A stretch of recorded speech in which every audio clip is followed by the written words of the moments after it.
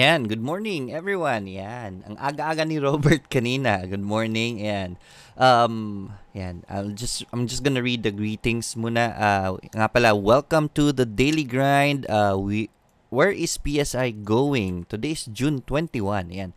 Saan papunta si PSEI ngayon? Alright. Um, I think, I think, it's looking good.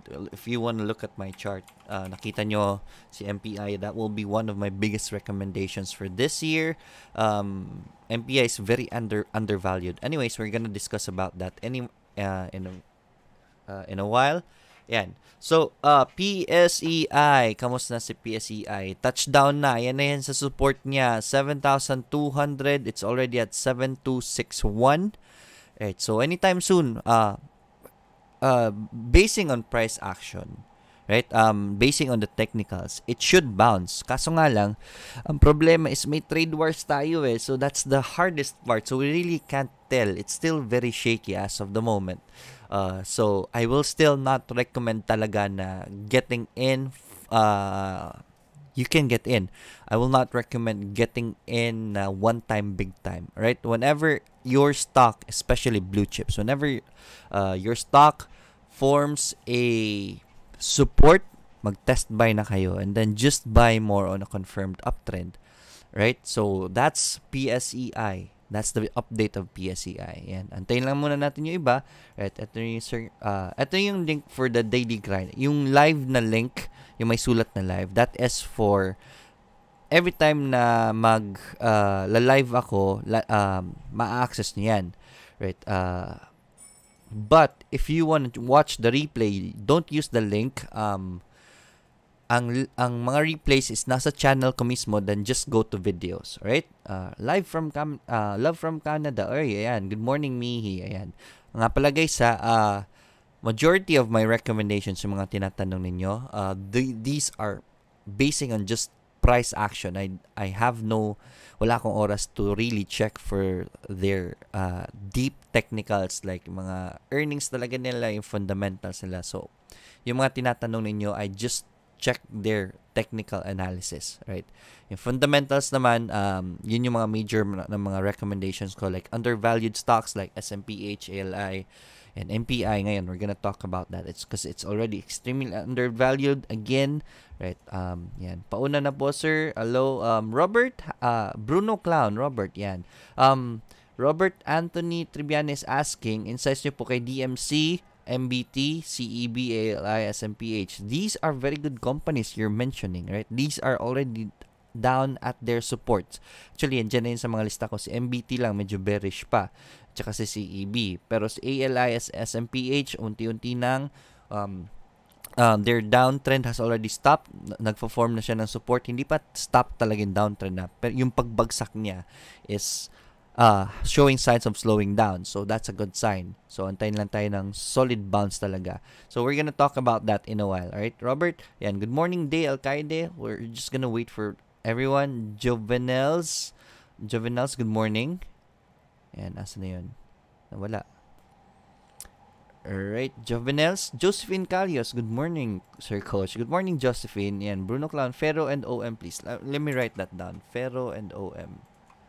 Yan, full screen muna tayo. Yan, CEB, MBT. Yan, um, don't get me wrong, MBT is very undervalued already. Kaso nga lang bearish pa. It's a good stock to buy. Let's just wait for it to form a support before getting in. Yan. Ferro, and OM from Bruno Clown will get to that in a while. Susan Manalo, good morning. Yan. Annette Bala, good morning, coach. Inside sa Meg, I'll write that down para madaanan natin si Meg. Meg is also undervalued already. Yan. Um, yan. Morning, Ian Xavier. Uh, good morning, Joel Igares. And good morning, Harold Gelbolingo. Ayan. Emmy Grace Hoveres, good morning, sir. Vita, BRN, and now. Vita, BRN, and now. Let, me write that down.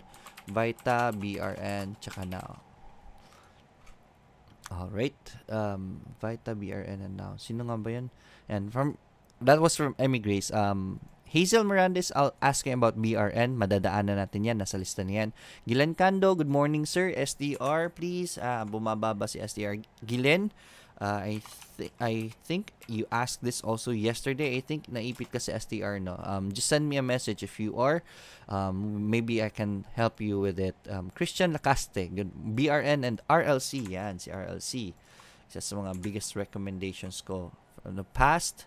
Yan, si RLC is still undervalued up till the moment. We're gonna go to that. And Um, then, good morning. Um, pa-review naman po si Meg and MRSGI. Yan, si Meg na lose, nasulat na natin. Si MRSGI, bumababa pa rin eh. Kahit napakamura na. Right. Still, we're gonna talk about that. Uh, asa na yan? Um, Joel Ligares, good morning po. CLC. Actually, CLC. Ang ganda na ng posisyon ni CLC. CLC Nasa recommendation ko ba ngayon sa CLC? Yes, andito si CLC sa recommendation ko. Kahapon pa yan nasa recommendation ko. Nag-aabang tayo ng bounce, di ba? We're gonna discuss about that. Something good happened yesterday. Right, for that's for Joel Igaris. Uh, Darze, good morning, sir. Ano ba thoughts niyo with BSP News? Is that about our inflation going, I mean, yes, yung inflation tumataas pa rin. That's bad, right? Um, these are bad news for the economy But then again, these will not stop the companies from going up. Um, yes, um, siguro sa mga investors, uh, babagsak muna yan. But once it stabilizes, um, investors will start start coming back in naman eh. Once the uh, the inflation stabilizes. If that's the news that you are talking about about the ang tawag nito is that about the inflation rate natin na umaakyat from BSP. Um, Darze, just let me know if I was able to answer your question. Yan, Darze, you're welcome. STV Trader, Sir, PXP, SL, uh, Shell PH, and WPI. Um, let me write that down. All right, PXP. Ah, you're into energy pala. All right, PXP, SLPH. And then WPI, Waterfront. Right, so, I'll, I'm still writing them down. Daan na natin yung mamaya. Good AM, sir. IRC still good for long term considering earnings are going down and undervalued and overvalued stocks. Oh, we'll talk about that in a while. Anilin, URC. Yun nga lang eh, ang pangit ni URC, nagpumapangit yung earnings niya eh. Um, Jims, good morning Sir Lloyd. Good morning then Jims. Ayan. Good day Maestro Web. Ted Abaricia. We'll talk about Web. Web has good news. Yan, may binili sila ng mga um, casinos dito sa Cebu. Yan, Shim Cheong Annyeonghaseyo. So, uy, from Korea. Yan, AC and ALI. I have those in my recommendations today, so we're gonna talk about them. Right? Um, JD Manyo, 3, uh, Primex is in 3.01 average. We'll talk about that. Okay? So, yan na muna sa questions. Right, we'll go through them in a while. So, first, we'll go to, again, review lang, si, uh, si market, PSEI, kamusta na ba? Is it time to bounce? Look at this uptrend support right here. Nag-touchdown na siya. We are there already at 7,200.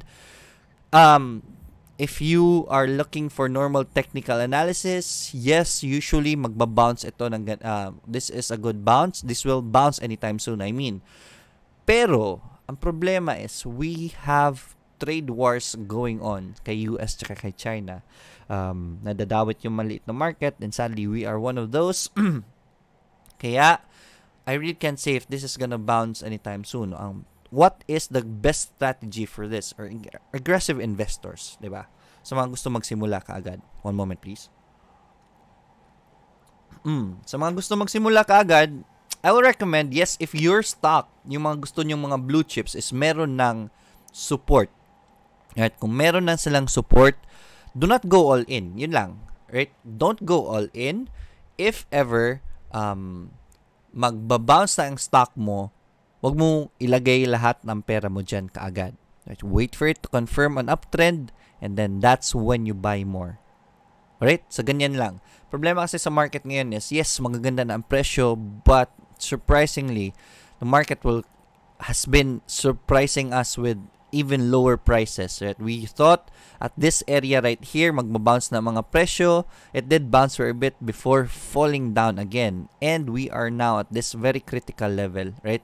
Um, hopefully this holds. Napakamura na niyan. Even experts uh, around uh even the experts are saying napakamura na ng mga presyo. This is very cheap already. I uh, don't uh, going down below pa rin. It's consider it will be considered a crash already around 6,000. Grabe na yan. Right? Sobrang bagsak na ng market na yan. Right? But then again, yes, um, if you're an investor, doesn't mean if, if the stock market is going down, it doesn't mean that the companies are doing bad, right? The blue chips companies are still doing good, right? It's just that the market sentiment is down. Yun lang problema dyan. So anytime soon, it's still gonna go up, whatever happens, right? Um, so we'll going um talking about uh recommendations. Ano ang pina um number one recommendation ko si MPI. Ayan na si MPI. Why MPI? It's one of the pinaka undervalued stocks in the market as of the moment uh, next to I think ABS-CBN ba yun? Grabe undervalued si ABS-CBN right? um, um, presyo talaga ni ABS-CBN is around 4 around 40 to 45 pesos. ABS is now at 25.95 so sobrang mura na ni ABS. FGen is also very undervalued but MPI is on the top of that list. MPI is very undervalued. Right? Sobrang ganda na ng presyo na yan. And look at this right here. We have a slowly climbing uptrend. Right? So it's already accumulating. Actually, this is already a triangle right here. So MPI is forming that. This is a good sign for MPI. If you're looking for a bagger stock, this is my bet. Right? So MPI, definitely watch out for it. This is undervalued and has good projects. Right? So, watch out for MPI. This might uh this might go up anytime soon. Napaka undervalued na yan. So that's one of my biggest recommendations as of the moment. Um, entry point is this line right here or kung mag-breakout siya. For those conservative ones, yung mga conservative mag mag-invest or mag-trade, especially for swing trading, uh, you can wait for a breakout um, those who are who can slowly accumulate funds you can start buying at this line right here and then once it breaks out it's already in a, you're already in a good position right? So MPI definitely watch out for it. So eto na ngayon um, mga blue chips SMPH ALI AC unahin ko muna sila. SMPH I'm recommending SMPH um, because look at that kahit pula siya yesterday look at that that downfall has slowed down and it's now starting to form a support. That's a higher that's a higher low right there. But yes, I think this is a good support already. Um, it's already undervalued. Yeah, mura na yung 34. Pinakamura niya is 32 but if you miss that uh, 34 is your next catch. Anyways, wag muna yan yung sinasabi ko for blue chips right now. We uh, with the market uh, wag mo nang mag full uh, mag all in dito. For example, your budget for SMPH is around 100,000. Start with 30,000. Yung mga, mga 33,000 yan, i-divide mo to 3. 33,000 ipasok mo dito. Then once it confirms an uptrend already, and you just you you can fully buy it now with your full funds, right? Or just another 33 percent, but this is undervalued and SMPH is a very good company, right? Um, for yeah, for for those who do not know, hindi lang hindi lang sa Pilipinas SM na, na malls ha. We have malls outside the Philippines, SM. I just forgot where that was, but meron mga SM sa labas ng ng, ng country. Yeah, next is ALI. Why ALI? Why am I recommending ALI? Pula siya kahapon, but same setup with SMPH. Look at that. That downtrend has stopped already. Right? I mean, not downtrend. No? nawawala ako sa terms ko. Um, this uh, pullback has stopped already.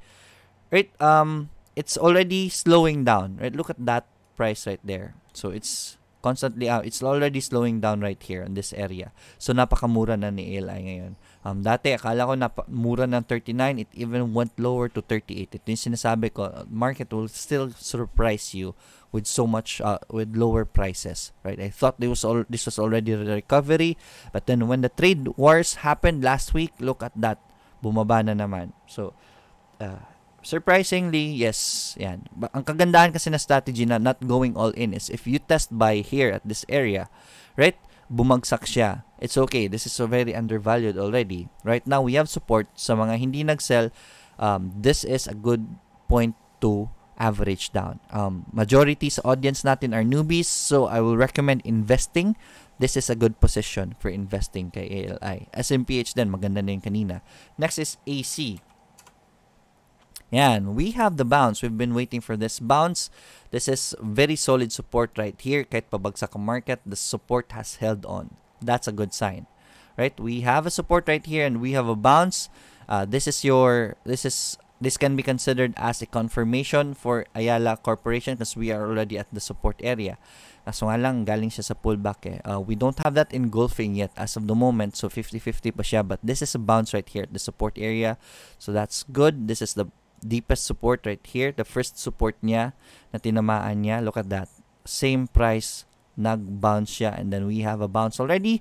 So this is a buy sign for AC. Again, with this kind of market, wag all in. Right? I don't want to repeat that uh, the process anymore. Basta yun lang ang keyword. Don't go all in. Right? Start, just start accumulating. Right? Mag-accumulate na muna kayo. That's, so that's uh, MPI, SMPH, ALI, and AC. Right? Next is EMP. Right? Emperador still very very stable at that price right there. So just keep on accumulating, right? So um, before I go back to my uh, go to my continue my uh, recommendations for today, I'll go back to your questions. and So yung mga linista ko ng mga questions kanina. So may tanong about Fero. I just can't remember sino mga nagtatanong. Kaya nga pala guys, yan. Fero right here. And after this bounce right here, ganda ng bounce na support na yun, no? Pero continued, but we are very near resistance already, right? Ingat na lang ng konti. Uh, I don't, I will not recommend Fero for now. We already missed this opportunity. Huwag nyo na habulin yan. Do not chase missed opportunities, okay? If you are watching Fero, dapat inabangan mo na siya dito sa support na ito right? If you're watching Fero. Pero you already missed that opportunity, wag mo na habulin yan. Just wait for it to do a pullback, then that's your entry point right there. Wag, I don't like uh, positioning breakouts as of the moment since the market is bearish, yung mga breakouts hindi gaano nag-hold. So I'll recommend just wait for the pullback before getting in. Do not chase this missed opportunity already. That's for Fero. Next is OM. Right, si Omiko Corp. Yan, nag-Bollinger Band trigger na siya. That's good. That's, that's a good sign for Omiko, right? Um, but then again, we have a resistance right here. Konting ingat lang. You can, if you want to be aggressive, you can try the breakout right there. Pag nag-breakout yan, just make sure you're responsible enough to cut loss at uh, below this resistance right here. Right? So this is the resistance as of the moment. Pag nag-continue yan, you can be aggressive. Yet it's good to be aggressive also look at IS. Kahapon, I don't know what, bakit walang nagtanong ng IS, walang nagtanong bakit nag-Bollinger Band trigger siya. Nag-Bollinger Band trigger na pala si IS tsaka breakout. We did not go through this. I'm not sure if na-discuss natin to kahapon. I don't think so. But if I saw this Bollinger Band trigger right here, that's a higher low, we could have put this on our watch list already and we could have won this. This is why I always say do not underestimate bullish stocks. Right? Nag-Bollinger Band trigger si IS kahapon that was our signal to watch this. And then if mag-continue yung bullish niya that was our entry point right there. So we missed that already. Sayang naman right? But then again the lesson is do not underestimate these kinds of movements. Yung mga Bollinger Band triggers na yan same with OM kaya tinanong ni si OM nag Bollinger Band trigger. Yes it's the same setup kay uh, kay IS kaso lang different industry. Ano nga ba to? Yeah I'm not sure uh, I haven't did do uh, I haven't done a background check for Omiko yet. I don't know the company as of the moment. Yun na, ganun ako eh. If I don't know the company, I really won't buy their stocks. Right? So I'm gonna uh, read about Omiko in a while. Right? Maganda yung Bollinger Band trigger niya. So you can watch this, right? Pag nag-breakout yan, that can your, be your entry point. Just be responsible enough to watch the market and then cut loss below that kasi malayo-layo pa yung bagsak mo if ever that fails. Right? Um, That's for OM Ayan, napakamurang CEB na ngayon. Right. Yesterday, it formed a 52-week low. Ngayon, nag-bounce na sa CEB. Uh, may dividend siya. This was June 8, so tapos na pala yan. So, right now, yes, uh, maganda yung bounce niya. Okay ba yung earnings ni CEB ngayon? Yan, okay naman pala yung annual niya, negative 18 lang. Alright, so, um, still on a downtrend, very risky. Uh, we have a good support right here. I'd rather you wait for it at this support. Yes, nag-green nga siya kahapon, but it opened right there and nag-gap up. Aso nga lang walang volume. So, I'd rather wait for it to uh, to make a, another support. Antayin na lang natin yung confirmation talaga. And then, let's catch a new support for CEB. Right? Still very bearish. So, I'm not really recommending it for the meantime. Yan, we have a question about MBT. And MBT is very undervalued. We have a bounce already. And very good find. This is a bounce you can test buy already for MBT. That's a that's a healthy volume for MBT. So I guess this is gonna bounce. If ever it feels at MA20, at least pwede naman kayo mag-sell dyan. You can test buy already MBT. Right? That's one of my recommendation for today. MBT, and hopefully this will hold. Eh, no guarantees naman. Eh. Um, still bearish. Right? It's looking like it's still bearish, but there's a good volume on that bounce yesterday, so that can be a good sign. If you're looking at MBT, very undervalued. Um, check ko nga ulit yung undervalued MBT. Yan, undervalued siya. Um, ang buy price niya dapat is around 85 pesos. Right? Ngayon, nasa 72 na siya. That's how cheap MBT is. Its fair price is around 85 pesos. I'm not sure.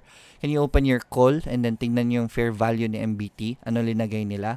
Um, I think it's around 85 pesos and then 72 napaka napakamura na niyan and that's a good buy right there. Anyways, MBT is a good company. I will not recommend uh, selling uh, MBT if ever the support loses more, right? RSI is doing good, right? Yung yung MACD niya is starting to constrict already and we have that curves already. So this is a good sign for MBT, right? We have we are we have reached RSI levels na 25, it's now at 27. This is a good sign for MBT. Mag-test buy na kay MBT. Right? Um, I'm gonna check out your chats and um, MBT yun. Uh, next question was Meg. Yan, isa sa mga undervalued din si Meg. MEG. Right, so Meg, right now, look at that. That doji yesterday was good. That's a good sign. That was a good sign. We have a bounce, confirmation bounce right here. Pwede na kayong magbili kay MBT. I mean, kay Meg, right? This can go up, but resistance is right here. So don't commit yet, okay? Um, so just accumulate, and then if it forms a higher load, then you just buy more, right? You, start accumulating now, okay? Meg, right? Meg has good projects, good good earnings naman eh. Um, definitely is very good. Uh, let me see the value, undervalue ni Meg. Yan, undervalued pa rin si Meg. Fair price is around uh, 6 point, uh, 5.12, I believe. Right? And then, yan, um, it's still at a good position, 4.6. That's still, an, uh, that's still very cheap for Meg right? So you can still earn in Meg. That's just a very good position for Meg. That's a con- good confirmation. Good job sa nagtanong kay Meg. So I'm gonna put Meg on my recommendations for today. Yan. So, yeah. Next one is Vita. Isa sa mga tanong is Vita. Let's check out Vita. Kamusta na si Vita? Yan. Vita, after breaking down that support, it's forming a higher low, but still it's a negative Bollinger Band trigger so we don't know for sure if this there is reversal already. Baka nag-rest lang yan ng konti before really going down again. But the selling volume yesterday was quite low, so that's a good sign. So nga lang, you can't bet on this as of the moment, right? Just wait for that. Uh, this is a red trigger, right?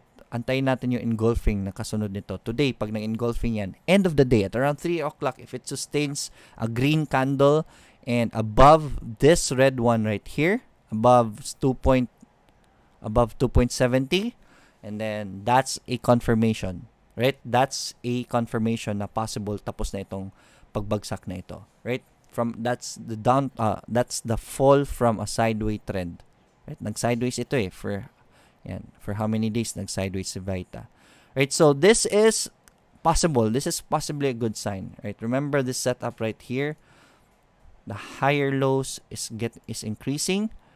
Uh, I can't remember anong stock yung tiningnan natin na ganyan eh, ba? But this is a good sign already. Right? So, pwede yan mag-bounce anytime soon. Um, so, that's for Vita. Vita, di ba? Let's, we'll talk about BRN. Kamusta si BRN? It's still holding on to its support right there. Still holding on to its support. Still sa stabilizing, right? Still stabilizing. Walang gustong magbenta. Walang gustong bumili na mas mahal naman. Right? So, as of the moment, nag, uh, nag-stabilize pa siya. Right? BRN, I'm not sure if BRN is overvalued. Uh, can you please, uh, I'm not sure if may, may uh, fair value research nito si Cole, but uh, definitely good earnings. This is backed up by good earnings annual and Q1 earnings. These are very good numbers. BRN has a solid support right there buy as long as the support holds. Yun yung for the technical analysis nito naman, di ba? I'm not sure if this is undervalued or overvalued. So, for investors, I can't really say. But price action wise, uh, maganda naman yung support niya. This is solid support right here. Right, so, yan. Um, before we continue, guys, if you want to support me, please go to uh, we have a super chat option dyan sa, sa chat natin. There's a dollar sign before the uh, after the smiley. You can donate to the channel para ma-continue natin yung advocacy natin to help Filipinos especially those who just started investing on how to uh, how to look for stocks to get into. All right um sorry and then Uh, number two is, yan, talking about, what you call this, talking about cryptocurrency. Yan. I'm gonna talk a bit about cryptocurrency, okay? Um, ano advantage? Why are people embracing cryptocurrency? Ganito kasi yun eh. The biggest advantage of cryptocurrency is like this. Peso right now is going down. Right? Pababa ng pababa si peso. What if mag-crash ang peso? There are countries out there na walang kwenta ang government talaga na napabayaan nila economics nila and then their money is has no value anymore. Yan. But what if nung may value pa ang pera mo, binili mo ng bitcoins ng mura? Right? So even if your company's economy go down goes down, the value of your money goes down, your money is safe. Bakit? Because binili mo ng Bitcoin. Bitcoin is decentralized. Walang naghahawak ng government niyan. So, the government cannot affect it.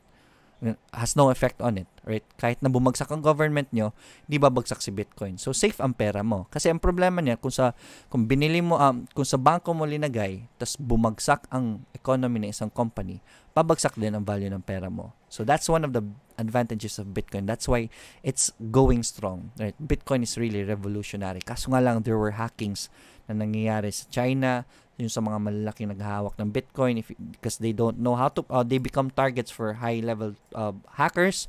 Yan, yan ang problema kaya bumabagsak sa Bitcoin. But these these uh, hacks were were really uh, a really small value naman sa Bitcoin. Let me just adjust my ano.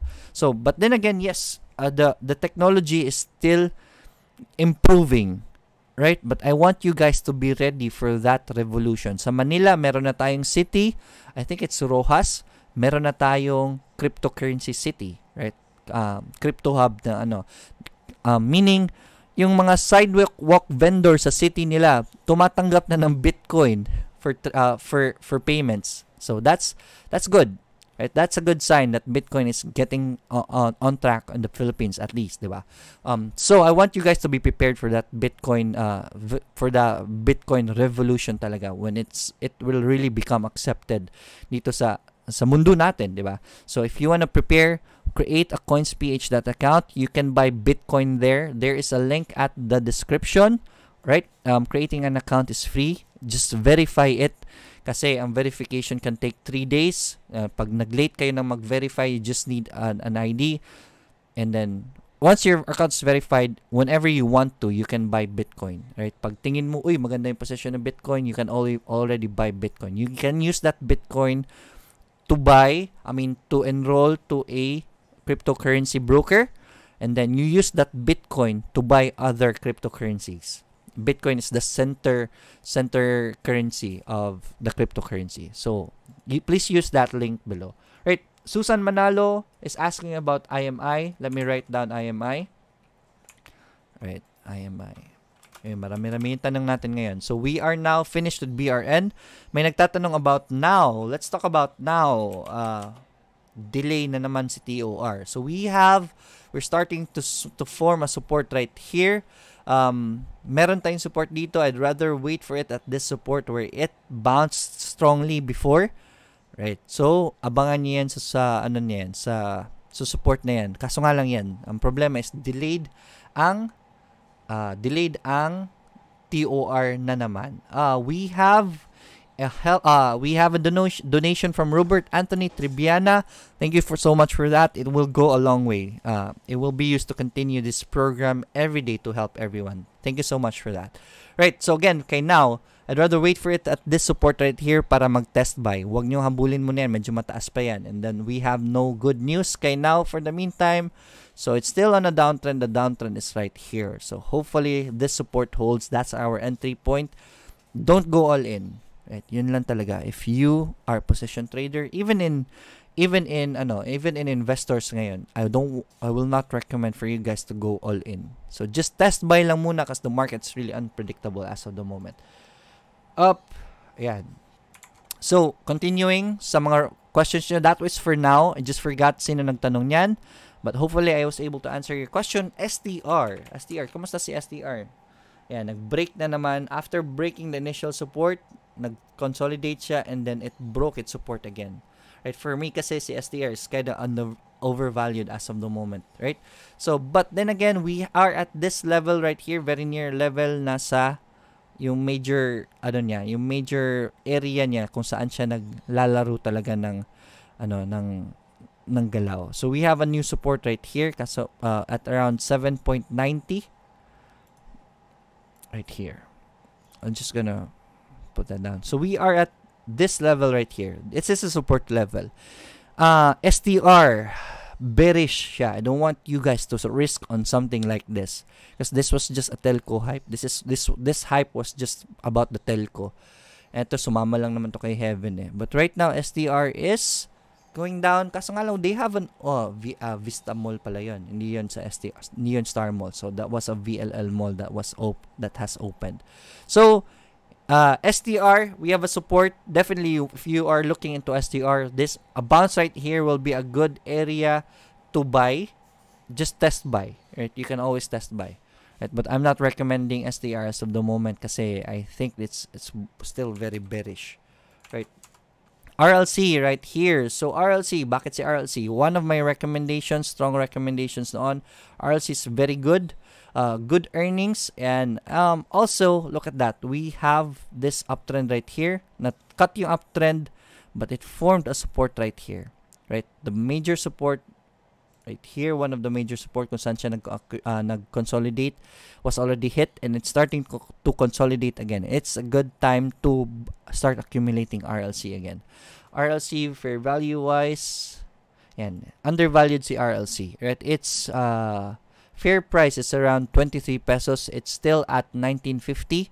Right? Maganda pa rin yung uh, maganda pa rin yung position niya. 23 pesos is still far away. 22 22 to 23 yung nas, yung fair value niya. So it's still undervalued.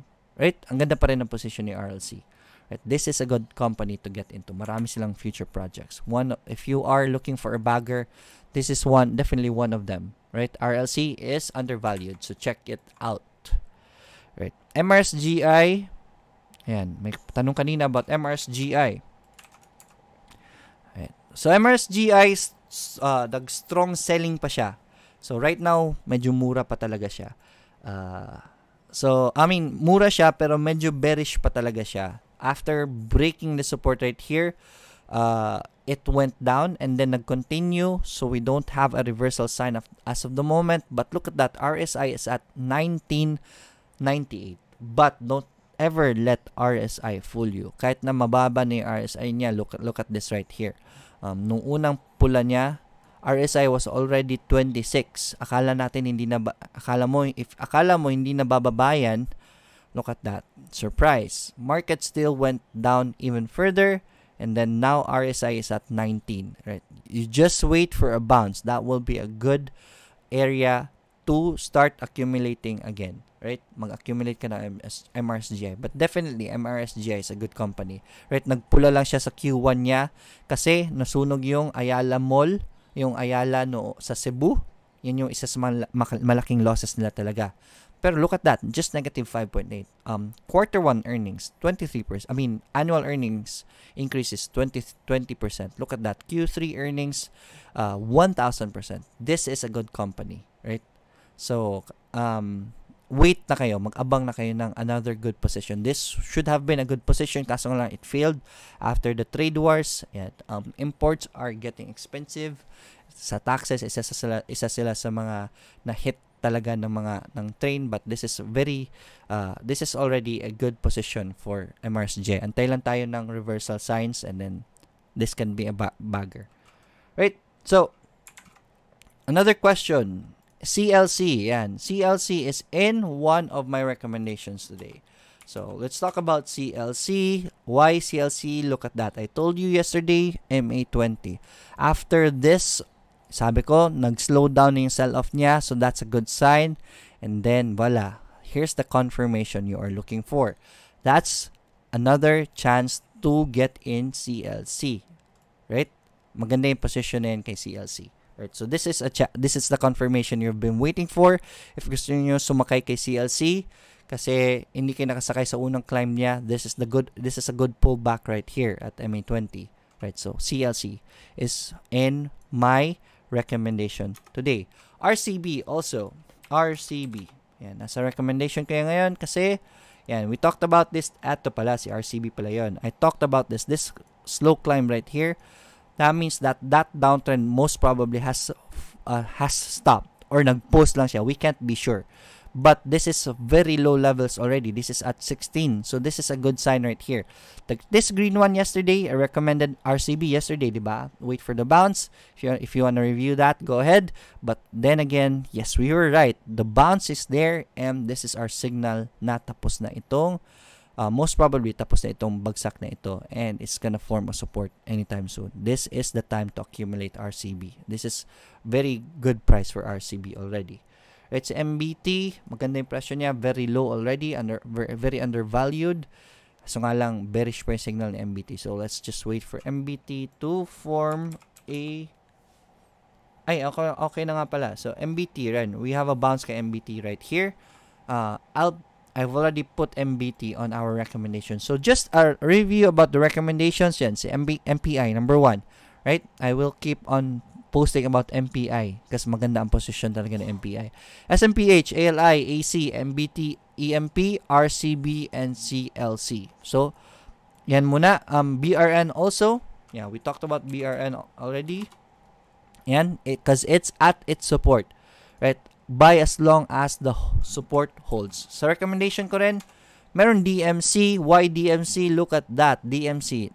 Bumaba nga siya, but look at this. Nag tumigil na yung baba niya, pagbagsak niya. So, it's starting to accumulate at that support again and that's our queue na pwede nang bumili. You ha- if you wanna be uh, what do you call it, conservative, wait for confirmation bounce lang talaga. But this is a support already right here. So maganda na ang position ng DMC. Right? DMC is very undervalued. Right, nasa undervalued list ko ba si DMC? Wala nga pala. But the performance of DMC is doing good, right? Quarter 1 earnings 5%, uh, annual is 16%. Q3 is 16%. Q2, positive lahat. Halos positive lahat. But the, then again, and Q1, last year, 30%. Annual niya, last year, 3%. So the company is doing good, but market sentiment is going down. This is a good sign right here. Meron na tayong support right here. Very solid support kay DMC. So DMC is one of my favorite list. Ayan. Next is Wilcon. I'll talk about Wilcon. One moment, please. Alright, Wilcon. Alright, Wilcon has been a bagger. Right? Bagger talaga. Kahit sinong pumasok kay Wilcon nanalo. Right? I don't think may natalo kay Wilcon except doon sa mga pumasok dito sa taas. Then again, there, there. At least sinasabi ko, pull back to MA20, we have a higher low already.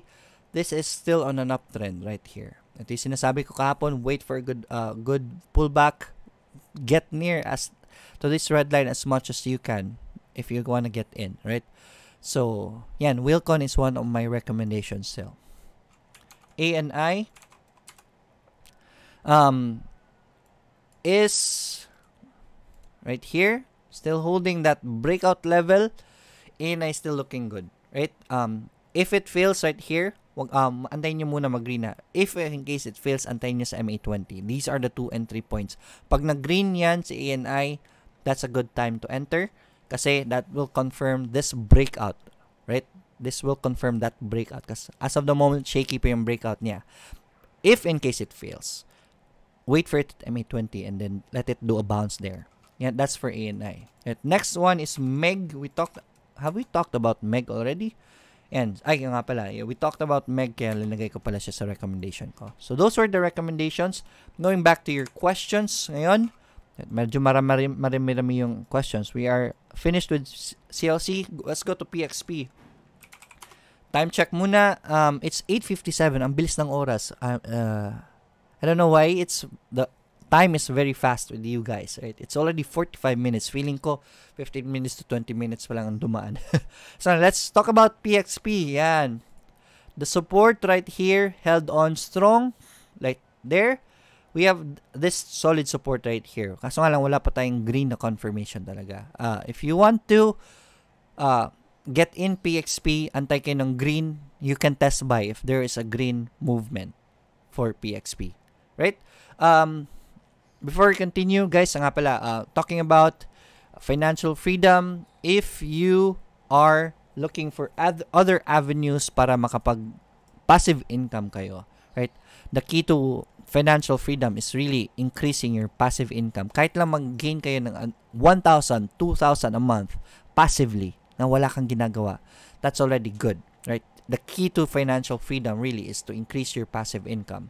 Your passive income, ito turo ni Robert Kiyosaki, your passive income should exceed your monthly expenses. That way, kahit magkasakit ka na isang araw, because you have uh, passive income that can cover for that, you are financial free, financially free. Wala kang takot kung magkasakit ka man or hindi ka makapasok.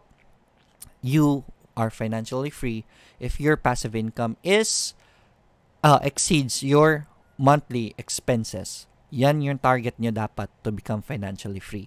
And one good avenue for passive income is copy trading. Copy trading kasi is you can invest in foreign markets, but the good thing is that you don't have to trade your, for yourself.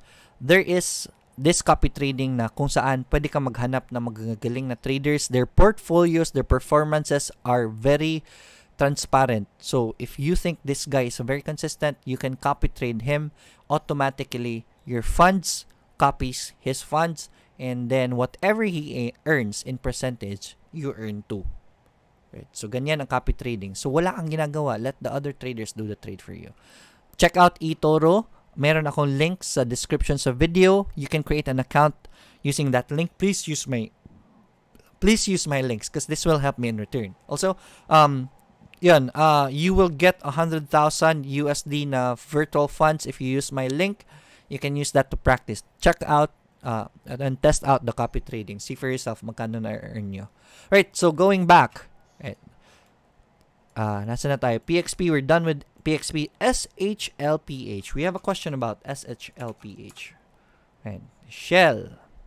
Ito yung sinasabi natin, we are at resistance level most probably babagsak na naman ito sa support niya because Bollinger Band is telling us na um, it's gonna do sideways for the meantime. There's no significant movement as of the moment. So I think magsa-stabilize pa muna to. Let's wait for that stabilization for now. Nasa resistance tayo. So na, let's not get in at the resistance. Next is WPI. Right, WPI, um, it's stabilizing. We have a support right here. We have a strong support actually. Ilang beses na to na hit. So you can test out this support.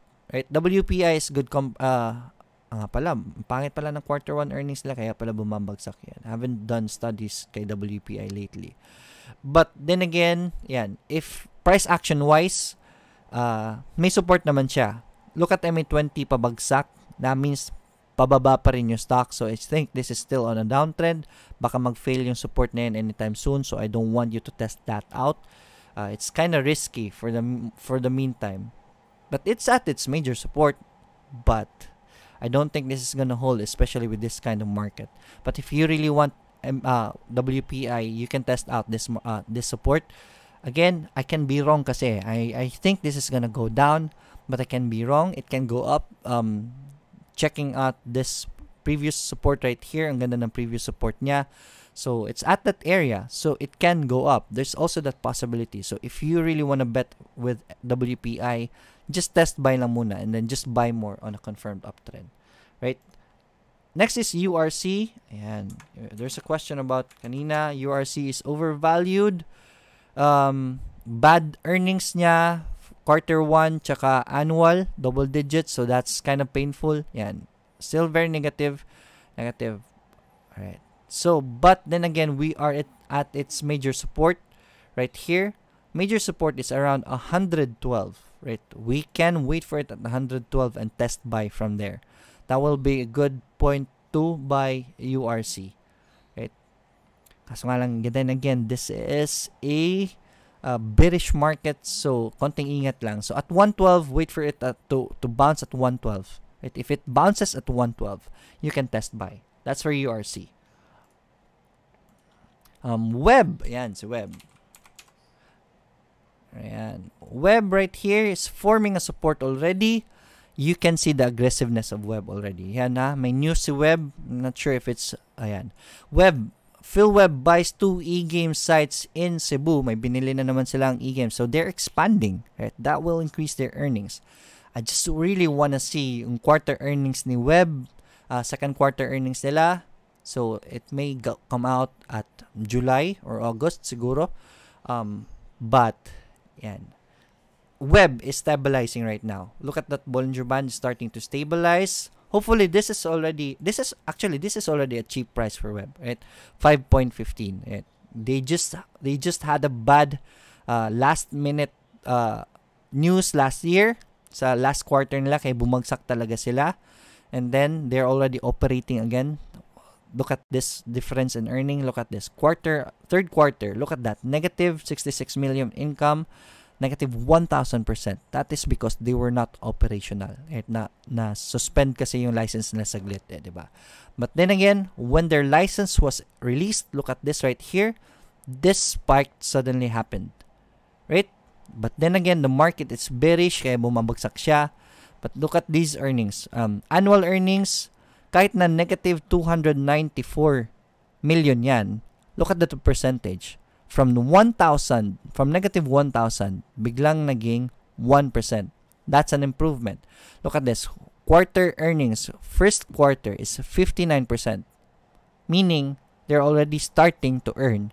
Kahit negative yan, it's, ang ano kasi yun eh, um, comparison kasi yun sa last quarter nila eh. So, there it is. It's, in, um, quarterly, it's increasing 59%. So, that's a good sign. Right here, web, this is showing you that web is um, tawag dyan, web is starting to expand again. So this is a good sign for web. So if you're looking for a bagger stock, antayin nyo ito na mag-break ng MA20 niya or you can start accumulating here and then just cut loss. Web is definitely good already. I'm I will be starting to recommend web pero mamaya na. Especially for newbies, I really want to wait for web to break this downtrend right here. Again before I will officially recommend web but this is already good position kay web. Right um Primex. We'll talk about Primex and right Primex dalawang araw siya na red but still holding on to that breakout level. This is still good for, for Primex right just I don't want you guys to buy yet just wait for a confirmation. Actually, nag-bounce na siya. Eh. Ma- medyo mataas na yung bounce niya. So, I want you guys to watch Primex for any bounces. Pag nag-bounce siya, that is a sign that mag-continue yung pag-akyat niya. If it fails this breakout right here, wait for it at MA20. But definitely, Primex is already at a good position right here. So, antay na lang muna tayo ng confirmation talaga. I want you guys to wait for it at support. I mean, that previous resistance. Wait for it to bounce there before getting in kasi medyo shaky yung position niya. Look for the best position as much as possible before getting in Primex kasi nasa taas na si Primex. Already if you already missed the train here. Right. That's for Primex. Um, next is IMI. May tanong ka tayo kay IMI. Right, so IMI and we have a support right here. Actually, nasa support area na siya. Eh. So, um, right now IMI kind of shaky but we have a strong support right here. Um, Bollinger Band is telling us na medyo stable yung presyo niya kaso nga lang MA20 still looking downwards. Still a bearish movement for uh, not really bearish. Yeah, medyo bearish pa rin siya. It's not that the sell-off is not that strong, right? So IMI, wait for it to go to its support before it really getting in, right? The support is right here. This is the best area to buy. Medyo mataas na siya. May resistance kayo dyan, so konting ingat. Still very shaky. So kasi may resistance kayo dyan, medyo malapit niya kayo resistance, wag mo nang pumasok. Right? So I'll go to your questions. Yan. Last ko na na basa is IMI. Sino ba yan? Um, Ted Abaricia, good morning. Web, yeah, you asked about web. Shim, Shim Chong, uh, Anyong, AC and ALI, we discussed about that. Pr- Primex, yan. So, Primex 3.0 yung 3.01 yung average niya. Yan, medyo shaky yan. Delikado yan, but you ha- you have to cut loss bill uh, this right here, at this uh, resistance right here. Right, Susan Manalo, yan. Kay Susan Manalo pala yun. Right, so, Time check, 908. Let's spend the last 12 minutes with your questions. Alright, DD, sir. Sparkfire, DD. Um, medyo baba pa rin si BB, DD. Yan. But look at that. Um, RSI is already at 17. There's this position again right here. So, the sell-off has already stopped, most probably.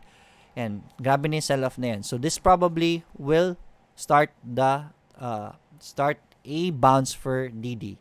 So wait for that bounce and then you can test buy there. RSI is re- really very low already. So okay na yan kay BB. DD. Sorry. Randy. Ah, sorry. Yung, yung screen pala. Alright. Sorry. DD right here. And ah, sorry about that. And DD right here. Ito. Um, starting to slow na yung sell-off niya. And then RSI is at a very good level already. 17, 18. It's very low already. So it's very oversold na. So it's time to check this out, right? Wait for that green one and then pag na-green yan, that will spark a bounce. That should spark a bounce. Um, I'm not really sure nga lang. Uh, I can't really can't really say, but that's a good sign. Pwede yung umakyat and then bumaba ulit. At least meron kayong pwede makita dyan. But if you are looking for an area to average down, Wait for that green one right there. Definitely average down kay DD. Right, that's for DD Sparkfire. Um, Randy, Sinisa, Sir Lloyd, what about SSI and IS? SSI. It's right here, SSI. And um, haven't done fundamentals kay SSI, so I really can't see. Quarter one earnings just negative one. Annual is good. Uh, Q3 is good good earnings niya. We have dividends for July 3, tapos na. Even held at dividends, SSI. So, um, SSI, nagbago sila ng directors eh, di ba? Um, I can't say for now, pero it has for it's forming a support. I'd rather wait for kasi downtrend pa siya, eh, delikado pa 'to eh. Um, wag na muna, right? It's forming a sideways movement, but I'd rather wait for it to do a rounded bottom for to be really sure. Right? If you don't know what a rounded bottom is, check it out. Maybe I can show it to you. Uh,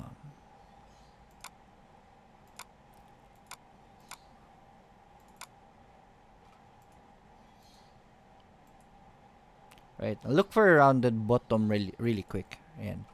so this is a asan yan So, the, uh, yes, this is the rounded bottom. Ito na pala. Rounded bottom. So, it's, it's moving average is moving downwards and then nag-accumulate na siya right there. This is what's happening to SSI, right? starting to accumulate. Mawawala ng volume yan once it starts to accumulate. But right now, it's still going down. So, very volatile. I mean, very uh, grabe pa yung mga movement niya as of the moment. So, I'd rather wait for it do a rounded bottom and then pag na-break na yung moving average niya, I think uh, this is this is MA20 and then MA50 yung, uh, yung gold na yan. Right? So, pag na-break niya na yan, that's our entry point. So, wait na lang muna for SSI. Uh, next one is question ni ano Ah, ay sisigilan naipit pala si STR yan. Medyo bearish pa talaga si STR. Um, STV Trader from City of San Fernando, ayan, Pampanga, ayan. Thank you so much. Asa nga ba yung question? Ayan, IS pala, yan si IS. Discussed about IS earlier. Ito, this is why I don't want you guys to uh, disregard bullish stocks. Look at this right here. IS, nag-Bollinger Band trigger yan kahapon. I wasn't checking the uh, my screener yesterday, but if I check this out, I would have seen IS, right? Look at that. Nag-Bollinger Band trigger pala siya kahapon. So if ever a stock does a Bollinger Band trigger, watch out for that stock. Yun yung karamihan ng mga recommendations ko to watch out. If it touches the Bollinger Band, never underestimate that. And then watch that stock. Pag nag-bullish na yan, sakyan mo yan. Right? That's what happened to IS. Um, right now, medyo mataas na siya. But then again, this is a bullish stock. So, watch it. I will not recommend buying it or selling it because I don't know the price action yet for today. This is a bullish stock. If it starts a bullish action again, you can get in. But Yan na, FOMO kasi eh. This is a planned FOMO. How, this is how you plan a FOMO out. Uy, si IS, ang laki kahapon. Gusto ko bang habulin to? You can, but as long as you can watch the market. If it's gonna be bullish intraday, ride it, but mag-trailing stop loss lang kayo. The strategy for this is not position trading anymore, not for swing trade. Ang available dito is just for intraday trades, for mga chupit-chupit na ito. So, yung, yung mga gustong pumasok dito for swing trade, wag na. Maiipit lang kayo. Right? But if you are an intraday trader, please watch the market full time. And then just do trailing stop loss. Like this one right here, kung pumasok ka, na FOMO ka, pumasok ka around 1.2, market siya, market siya hanggang 1.70 and then it started falling 3%, 4%, 5% from the top, then sell na kayo. Right? That's what you do with these kinds of stocks right? Grace Tuazon is asking about LMG. Right, LMG stabilizing, no significant movement as of the moment. So, antay ka mag band trigger or wait for it at support again. So, this is a very solid support right here. Walang gusto magbenta below that. So, 5.0 is the best area to buy 5.0 to 5.03. so, antayin lang muna natin either that or if it triggers the Bollinger Band, and then that's your entry point. Right, that's for LMG, Grace Tuazon. Gillen Kando, yes sir, ipit sa SDR. Alright, so, yun. Um, tinuro ko kahapon, if you, want, if you can check the video yesterday, paano to recover from a stock na naipit kayo. STV Trader from, ayan, nabasa ko na pala yun. Pervito, good morning Sir Lloyd. Dapat sumulat ka na ng libro about stocks. Uh, that's the that's the goal for this year, right? I'm gonna write a book uh, uh, abangan nyo. Right? Definitely. Susan Manalo, BSC sir. Yan. BSC, let's check out BSC.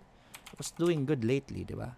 Ah, kaso nga lang nag-pull back. Yan. BSC is at MA20. This is a good position for BSC.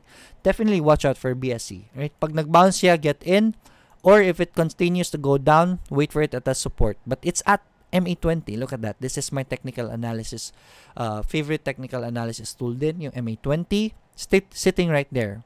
Hopefully it holds. Pag nag-green yan after today, that's a buy, buy signal. But as of the moment, shaky pa siya. Huwag muna pumasok. Wait for a confirmation bounce. Or if it fails, wait for it to bounce at the support.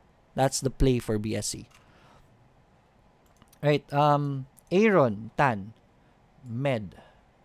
Ay, wow, ang daming tanong. Uh, Hazel Miranda, thank you so much for the help. And Robert, hindi ko napansin yung mga ano nyo, uh, yung mga binigay nyo na ano, binigay nyo na uh, super chat. Robert Anthony Tibriana, thank you so much for that.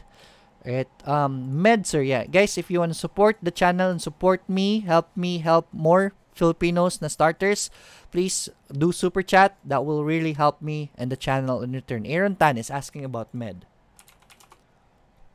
Right, med, right now, after this green right here, this Bollinger Band trigger, nag-pull back siya, and then we have a solid support right here, which is a higher low. This is your confirmation right there. Med, good to buy. And then just cut loss below that support. Right? Test buy lang naman, di ba? Just test buy, right? Um, this is just, uh, be mindful, yung mga recommendations ko, marami kasi akong bashers. Eh. The majority of these are, uh, what do you call this? Price action movements. I don't have time to study all the fundamentals, the deep fundamentals of all companies. So if yung mga tinatanong niyo sa akin, I'm just basing it on price action and then fundamentals. I mean, technical analysis, right? So, still be careful, right? So, if if you want if you're looking at med, this is a good sign for MEB. That's a higher low right there. We have a bounce. This is a higher low. So, that's good sign for med. Kaso nga lang volume is low. So, if you want to buy, just test buy muna. Don't go all in kay med. Right, Red Spec, good, good morning. Rodel Yamas, good morning. Morning, Sir STR. We already discussed about STR FA. Yan, FACE is one of my students. Nga pala, I have classes this Saturday and Sunday, 1 to 3 p.m. If you want a more in-depth na coaching from me, you can avail of my workshop. Just send me a message sa Financial Freedom 101 page ko or send me a PM sa Facebook ko. You can search for me, Lloyd Bazaar. Right, Sparkfire, good morning po. How about Didi? We talked about Didi already. SNC, good morning. Yan, from Japan, si SNC. Yan, Veronica Tabio Sares, good morning, Sir Lloyd. Good morning then. Darze, thank you. Hopefully, hindi po maapekto sa market. Yan. Good morning, Raquel. Ah, yan. May question si Darcy, IRC. Yan, IRC has been a good bagger. Right? Matagal-tagal na to si RAC eh. IRC. Uh, I did not start coaching IRC but at this point right here was really undervalued. So, laki talaga ng bagger ni IRC. Has good projects, right? Uh, we talked about IRC. Yun yung sinasabi ko. This was the support right here and then nag-bounce na siya. So that was a good sign for IRC. Hindi nga, hindi nga lang ako nag-fully commit kasi it was very near resistance already. But look at that kahapon. Grabe siya nag-breakout. Right? After it pulled back a bit for at MA20, nag tuloy-tuloy na siya. So that was our entry point, MA20. Also, this one right here. Ang pinaka-best na entry point was this support right here. So, right now, IRC, medyo mataas na siya. Right? It's already reaching its overbought values. It's already at 72. Wait for it to do a pullback. Right? There's still good chance for IRC to grow. Napakamura niya pa rin. Wait for it at MA20. I'd rather you guys wait for it at MA20 or it goes near its... It bounces at this resistance right here. This was the previous resistance na nag-breakout siya. Right there. So this was the first solid resistance talaga. So wait for it to break uh, to at MA20 kasi the coming days aakit naman yung MA20 niya. So most probably at this area right here is your best entry point for ARC. Huwag na kayong mabol. Um Darze IRS uh, IMP IMP yan Imperial yan nag Bollinger Band trigger na naman siya. I'm not sure how much the growth is yesterday uh 20% ang lakas. Right. So, um, IRC, uh, IMP is kind of shaky, but definitely just watch it intraday. Right? You already missed the train. Wait for it to do a pullback at MA20. MA20 will be the best position to get into. Baka mag-pullback yan anytime soon. Again, guys, ito, especially for the newbies, whenever there is an exaggerated movement, expect a correction, which is a pullback, or a consolidation. Yun yung expect nyo. But this is Bollinger Band trigger right here. There's intraday potential in this. If this starts bullish today, you can get in, pero chupet lang. Intraday lang ha. Intraday lang guys. Time check is 9.20, 9.20 a.m. So 10 minutes more, magsa-start na market. Sige, I'll, we'll just extend again 5 more minutes para makapag-prepare kayo sa market sa last na ano, last 5 minutes. Raquel, BPI sir. So ipit na may BPI. Don't worry about BPI. BPI is a good company. It's just that the market is very bearish as of the moment. Dividends, napakaliit lang, 0.90. Alright. So, hindi talaga siya nag-effect. It will be out June 29. BPI. Right. So, na-break niya pala, na-break niya yung support niya talaga eh. So, expect BPI at around 85, right? Yan yung susunod na bounce area niya, 85 pesos. Sobrang ipit ka na. I understand. I know the feeling. Naiipit din ako dati. Mag-average down ka lang. Mag-ipon ka for averaging down kay BPI. If gusto mo lumabas kay BPI, whenever it rallies, just sell 20% and then yung 20% niya, buy mo on the dips. Pag nag-dip pa yan, you buy more sa kay BPI. Ganyan ang gagawin mo para makalabas ka. Wala na akong bosses. Right, IDC, Poser at Bloom. Good morning from Esther Patnugot. IDC. IDC is right here. Yan. Look at this right here. Ito yung sinasabi ko. MA20, it went near MA20 and bounced again. Um, I'm gonna wait for it again at MA20. Most probably, it will slow down at MA20 before really bouncing up. Wait for MA20. As of the moment, hindi ko linagay siya sa recommendation ko kasi wala pa tayong bounce, confirmation bounce talaga kay MA20. But, I can be wrong. I can be too conservative sa recommendations ko definitely watch IDC. Ganito yan guys ha. This stock is already in an uptrend. Wag na wag niyong pakakawalan na yan sa watch list nyo. Right? Even if I don't recommend it, do not remove it from your watch list.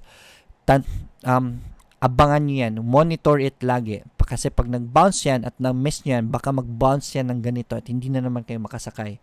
Right? So, definitely watch it for traders especially watch it at MA for, for it to reach at MA20 or if mag-start na yun, mag-bullish, that was your train, sakyan nyo na yun before siya umakyat ng mataas.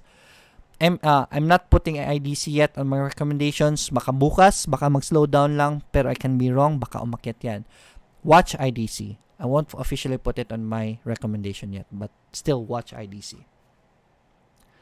Um, John Paulo Gadin, BDO, Uh, yan. BDO is a good company naman eh. So, don't worry about BDO. Right now, Ayan. It's going near its support. Nag-fail yung breakout. First recommendation ko kay BDO, if it does a breakout, yun nga, hindi siya nag-breakout, so you should have not gotten in. Ito yung sinasabi ko, kung, kung papasok kayo ng hindi pa nag-breakout, look at that, bumagsak, di ba? So, always wait for it to do a breakout before getting it. At least yung risk nyo maliit. Right now, it's already at support levels. So, maganda na si BDO. Support area. Medyo magulo yung mga tails niya. So, let's just do a rectangle para support area niya. This is the support area. This is your entry point right here. Around this, 126 to 127, that's your entry point. Right? Pag nag-bounce yan dyan, pumasok na kayo. That's for BDO. John Paulo, you're welcome. Verano, Parcon. Right, good morning. IRC, we talked about IRC already. Um, My Taiwan's Diary, we already talked about Primex and Vita. Right, very good. Um, Edson, any sites for food, sir? Yeah, food. I'm looking at food kasi food is yeah food is doing good right? Earnings niya look at that first quarter 930% annual 126% so I'm definitely looking food looking at food. Ito yung sinasabi ko if pinapanood niyo ang isang stock this is a support right here. Nagrally siya at then nag-pull back. Wait monitor it kasi baka ma-miss niyo yung opportunity. Look at that nag-bounce na siya sa Bollinger Band I mean sa support niyang yan Right, right now, it's poised to break out. Rather wait for it to do a breakout. Yes, umaangat na yung Bollinger Bands niya. Pas kaso nga lang hindi niya pa na i-hit talaga. Right? I'd rather wait for it to go back down, mag-bargain ng konti at around MA20 and then if, once it bounces, then ako bibili. Right? Try to look for a bargain for food. Definitely, food is gonna start to climb up. Right? These are very good numbers kay food. Right? Um, so, um, I haven't done fundamentals kay food yet. So let's see if it's already it's undervalued or not. It, right um yan. Good AMs uh Jose Tumun Tamundong asked about STR we already answered STR si AB naman. Bilisan ko na yung mga questions nyo guys ah, look at this right here ito yung sinasabi ko look at that MA20 bounce right there so most probably this is gonna play around MA20 you can test buy at around MA20. Kaso nga lang, uh, I think uh, AB, uh, medyo mataas yung presyo niya. I think AB is overpriced. But price action wise, uh, I'm gonna double check sa fundamentals ni AB ha. But price action wise, um, okay na siya at MA20. You can use your MA20 as your support and test buy there. Okay, time check 9.26 guys i guess that's it that's all the time i have for today again hazel miranda thank you for the help robert then as if you want to support the channel please uh, uh, subscribe, right? And like the video. It's already 9.26. Um, sorry if hindi ko nasagot ang lahat ng tanong ninyo. Medyo marami-rami yung tanong. Um, but definitely I'll try my best. Send me a PM. I'll try to answer you. Send me a message. I'll try to answer your questions whenever I can. Again, be ready for the Bitcoin. Uh, be ready for the Bitcoin revolution. If you don't have an account, uh, if you don't have an account to buy Bitcoin yet, go to the link on the description, coins.ph. Use that link. You can also help me by creating an account and verifying it. Right. Also, passive income. Create an eToro account. Check out copy trading. Right. So, uh, guys, yung mga contents ko dito is not is only intended for educational purposes and not should not be considered as investment really strong investment advices, right? Past performance ng isang company is not indication for future results. Yes, tumatama yung mga release natin. Mer- meron naman tayong mga hindi talaga tumatama. Highly volatile investments ang stocks, right? Your capital is at risk. So be very careful with the stock market, especially on this bearish market right now. Uy, Candy Floss, it's your birthday today. Happy birthday. And happy birthday ko lang ang pwede ko maibigay ko sa inyo. And then the recommendations and the, the education, education naman. Um, it's been a very fast one hour with you guys. Thank you so much for this continued support. And then, as always, let's get rich together. Happy trading. Good luck sa trade ngayon. Bye-bye everyone.